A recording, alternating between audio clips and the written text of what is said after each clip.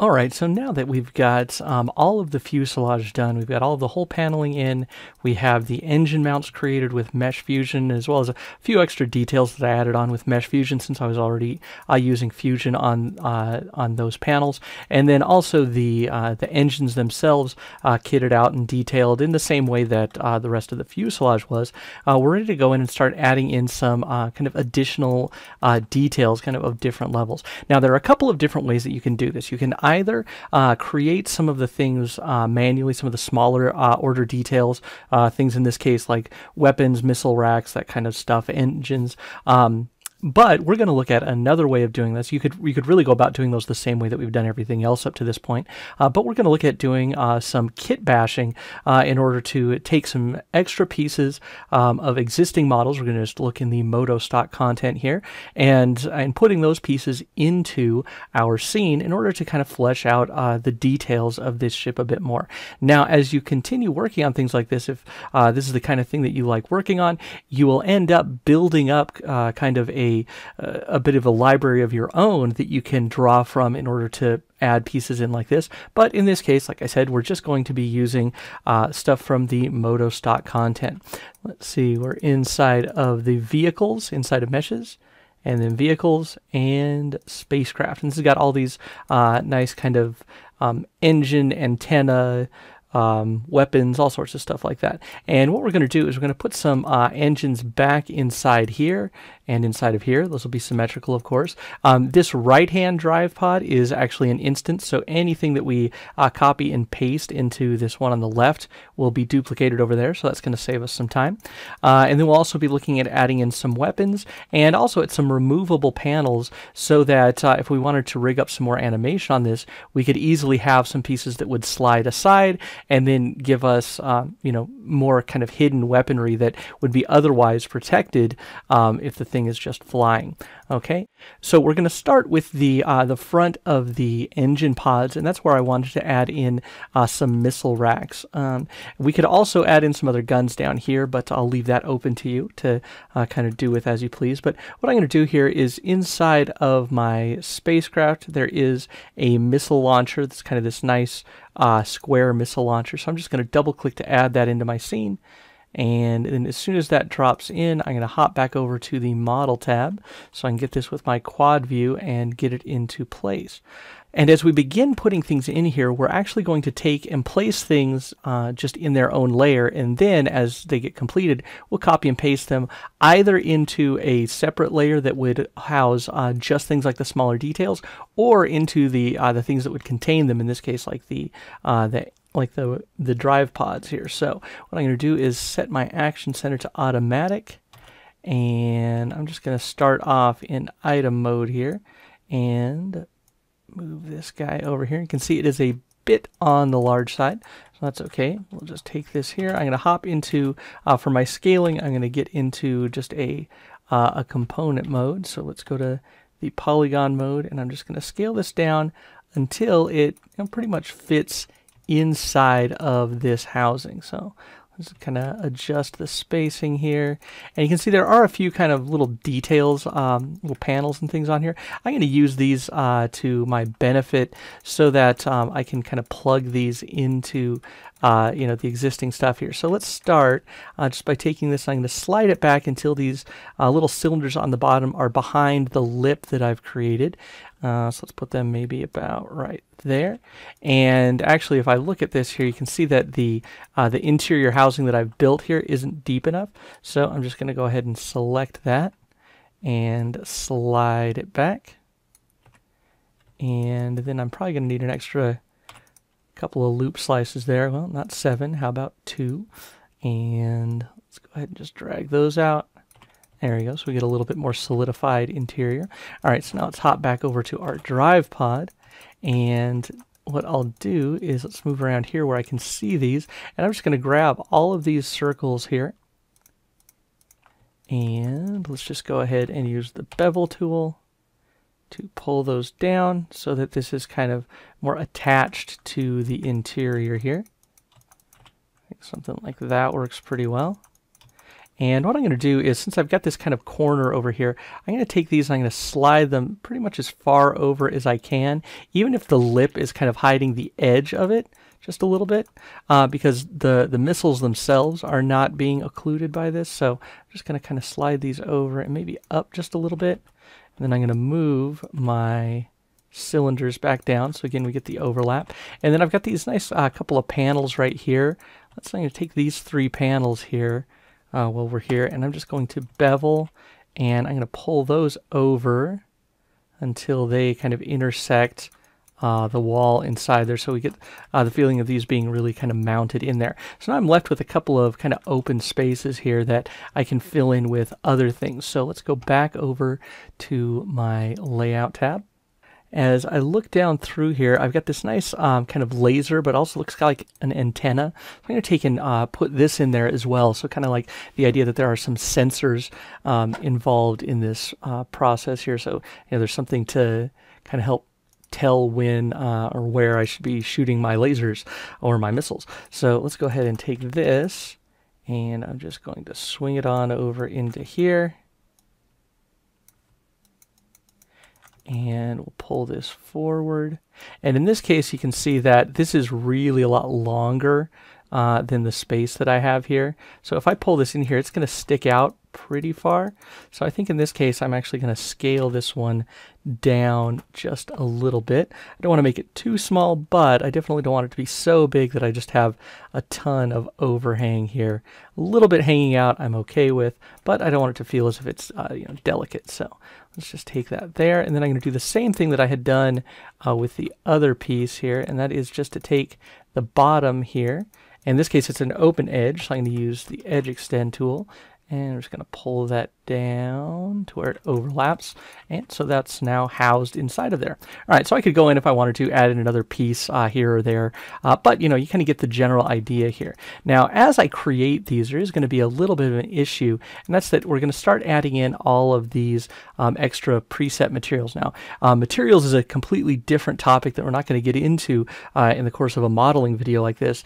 Um, but I would want to create a, my own materials for these. So I'm going to go ahead and just delete the material groups that come in with those. So now they're just going to have the uh, kind of default uh, material for the rest of the whole. Okay, so now that I've got that, let's go ahead and take both of these pieces here.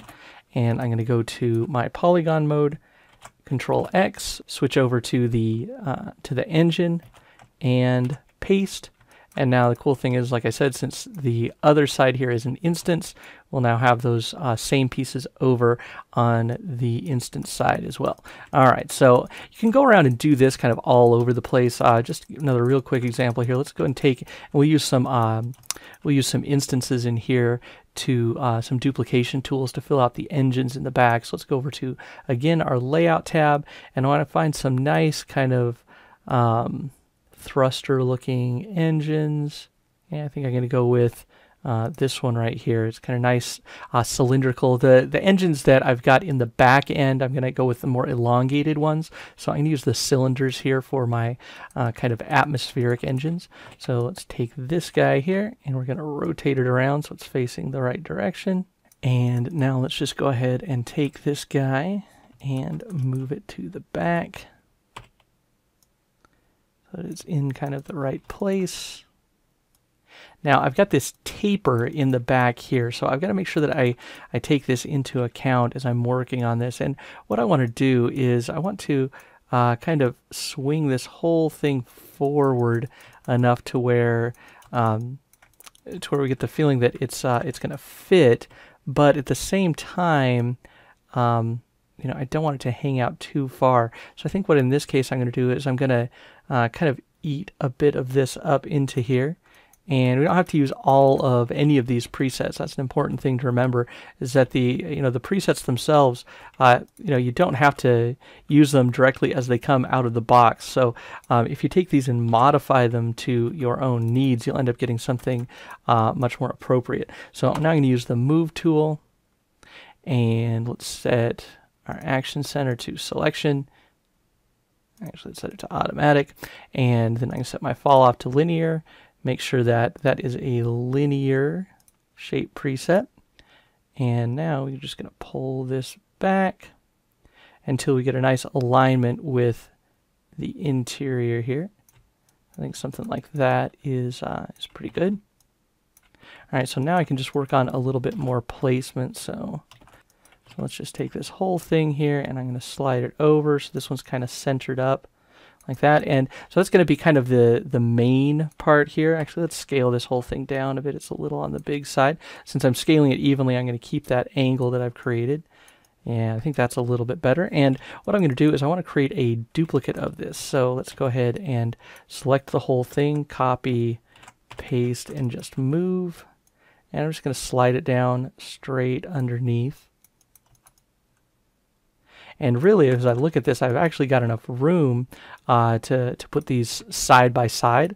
So let's go ahead, once again, take them, slide them over. And that's the nice thing about working uh, with, with presets like this is you can allow yourself to have a lot more freedom and flexibility uh, because you didn't spend a bunch of time working um, on the piece in order to get it uh, to get something exactly right. So you can spend a little bit more time, um, you know, making sure that you get everything to fit well, uh, because in the end, you um, you know that's where you're spending your time. So let's again, again.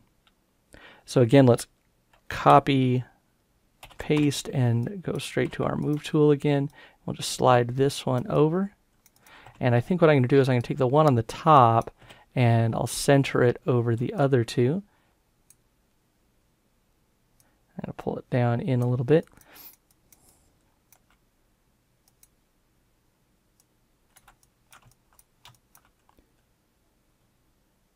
And now I could go in here as I want and uh, fill this out with additional pieces. So let's go ahead and add in one more here. Uh, so we'll go to the layout and I'm going to get something smaller.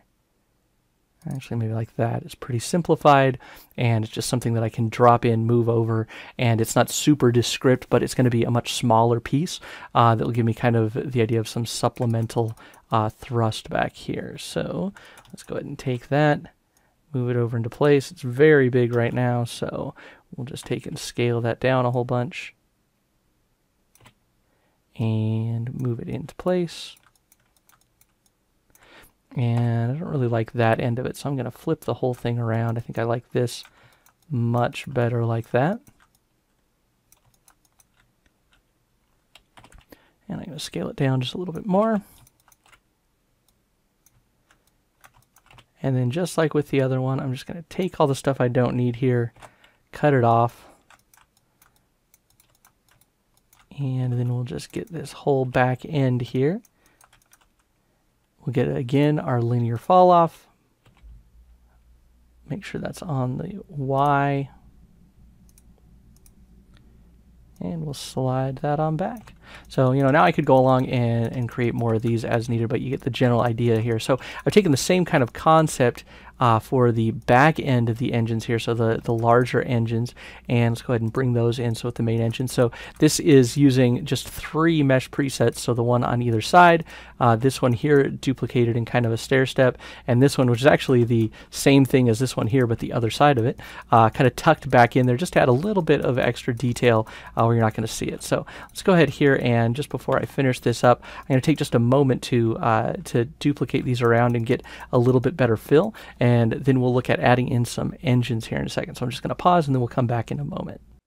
All right, so I ended up deciding to uh, to go with a, a kind of a, a, road pattern with uh, three and three of the smaller engines, and two of the big ones, and then just this kind of uh, filled in the space really nicely. Uh, kind of one down here, and I don't know if this would be um, necessarily an engine or a thruster, but uh, you know, it's just a general detail there, uh, a nurney to fill out uh, you know, to fill out the space. So, all right, so uh, now another way that you can do this here, and we're going to look at something that I've already got in place here so you can see, is if I take and hide this panel here, you can see that I've got a bunch of guns inside of here. Now, you could choose to uh, set this up when animating pretty much any, any way that you want, but basically all you would need to do is either uh, rotate or swing this door out of the way uh, so that those guns are revealed and then, you know, you could fire something uh, with the guns. So what we're going to do is we're going to create that same kind of thing here up on top. And it's a pretty simple way of doing this. So I'm going to go ahead and hide this panel here. But you can see when that panel is hidden, we have nothing underneath except seeing down into uh, the interior of the ship, which is uh, you know, not really what we want. So let's go over here to our items again. And what I'm going to do just for now is I'm going to hide the interior and all the drive pods and our engine mounts and all this extra stuff here. So you can get the canopy out of there. Um, get all that extra stuff. So basically we're just looking at, uh, you know, the kind of base model here. So what we want to do is we want to create something that is going to fit inside of here and, uh, and will fill in the space so that uh, when this panel lifts up or slides away or whatever we're going to do with it, um, you know, there's something in there. Now the really easy way to do this is just to reutilize some of the stuff that we had already done. So I go to this whole item, which is where we had been getting all of our pieces for the uh, for the plating, I can just take this here and I'm going to copy it and then we'll move back down into our panels layer and I'm going to paste that in. All right, now in this case, I've got um, a couple of options here. So what I want to do is create a little bit of an overlap with uh, the panels next to it, the adjacent ones, uh, left, right, forward, and back. Um, and then I want to take and create a little bit of an inset so I have somewhere you know to, to put that uh, weapon. All right, so what we're going to do in this case is I'm going to hide everything else just for right now, and I'm going to turn on symmetry, and I'm just going to start by taking these pieces right here, and I'm just going to use edge extend to kind of pull these out, and I don't even need to go very far, so I'm going to go maybe maybe like 100 millimeters really that's all it's going to take. Then I'm going to do the same thing here on the front, um, except I'm going to uh, kind of continue along so that we're keeping the same silhouette, this same uh, angle, right, so that we're not getting any uh, disruption where this is going to poke out into uh, the other pieces there. And so we went forward 50 and down 85. I think that'll work pretty well there. And then let's go up to the top here and do the same thing. So again, edge extend. And this one I'm just going to pull, I think, straight back uh, to work. Okay, so let's go ahead and unhide our panels, except we'll have to rehide the one that's uh, in the way. And then we're just going to take this little bit right here, use the bevel tool, and for right now I'm also going to bring my interior back in because I want to make sure that I'm not overlapping my interior. But with the bevel tool, we can just take this and then I'm going to pull it down a little bit here. And then I'm going to use my scale tool to flatten this out. And then we'll pull it down even a little bit more. All right, so we're looking for this nice kind of, um, you know, flat area down there. And I notice that these have a little bit of wobble to them, so I'm going to take and straighten that out just a little bit. All right, so now we have the, the area where the uh, weapons are going to go. And now if I bring the plating back in that goes uh, kind of in the back there, you can see that we're not getting any uh, overlap or anything with that. It's just kind of sitting underneath everything there. We don't need to worry about having this be SubDs or anything like that uh, because even when it's visible, it's going to be semi-occluded by the panel that's just moved out of the way. And it's going to have something else in there. In this case, I'm going to put a laser in there. So let's go again back over to our layout. And there is a nice nice uh, little uh, turret down here on the bottom that I'm going to use. So let's just take double click on that and then we'll go back to our model tab. We'll get that in place, copy and paste it into our fuselage or our panels mesh, and uh, we'll be pretty much ready to go. So it's starting off really big, so we'll just take turn off symmetry and flip it around so it's going the other way scale it down so it's much, much, much, much smaller, and then we'll start kind of moving it into place. Remember, we want it to sit inside so that it's not disrupting the, you know, the actual, um, you know, silhouette here. All right, so it also looks like it's a little off center, so let's go ahead and do center selected on the X. There we go. And we'll scale it down again a bit more. We want it to fit all the way inside here. And then we'll move it over here and pull it down just a bit. And what I can also do here is take and adjust. I'm just going to take the very back pieces here and I'm going to pull those down just a little bit so we get a little bit of a, a slant. And then we're going to go back here and pull this one down. And then just like with the pieces on the other part, I'm going to take this bottom polygon and I'm just going to move it down to where it overlaps Looks like this is going to be right above the bunks. So hopefully the guys are heavy sleepers if they're in a battle, or hopefully they're not sleeping if they're in a battle. And then I'm actually going to uh, cut that polygon out because we don't need it there anymore. And again, go back to shading, grab this extra material that's been created, and now we have a, a, a nice little weapon that's in here. And let's take it, I think we moved it down a little too far. So let's go just maybe right there. What I'm looking for is I want it to uh, clear the the uh, the front here so that it's not going to shoot itself. And let's switch over to just a front view here so we can see, oh yeah, we've got good clearance there. And now we're going to take this and we're just going to cut it, move over to our main body here, paste it in, and then we'll unhide the panel. And now, just so you get an idea of how this would work, we have a couple of different options. Um, I think with this one, I would probably opt for having this piece kind of lift and then slide back. You know, so maybe it uh, slides back here and rotates as if it's uh, kind of guiding along the panels up above it. And it only has to get out of the way enough to where that becomes visible and then it can, uh, you know, it can fire. All right, so let's undo that and put it back in place.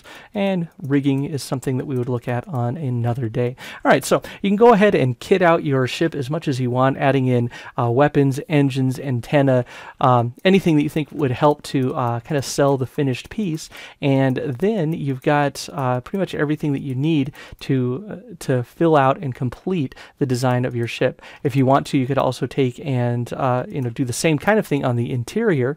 Um, just remember, as you're working on interior interior and exterior at the same time, it's really easy for a model to get really heavy really fast. So let's go ahead and bring back in all of the other pieces.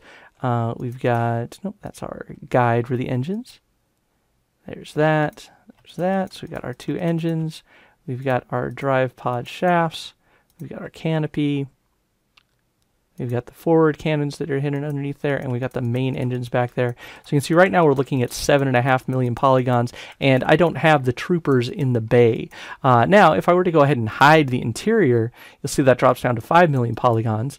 Uh, we do, however, uh, lose our, our our cockpit and everything, so I'm going to bring that back. Uh, most of the interior is not too high poly, except for our characters for the most part. So there we go. Now we've got our piece uh, pretty much ready to go. So we'll just have a few extra finishing touches to look at, and then you'd be ready to take this model and move on to any other step you'd like, texturing, modeling, animating, whatever the case may be. But we've got one more piece that we want to do here before we call this one done. So I'll see you in the next lesson.